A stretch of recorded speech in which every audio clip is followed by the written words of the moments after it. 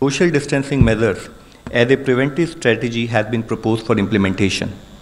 These interventions are proposed to be enforced till 31st of March 2020. Closure of all educational institutions, schools, universities, etc., gyms, museums, cultural and social centers, swimming pools and theaters.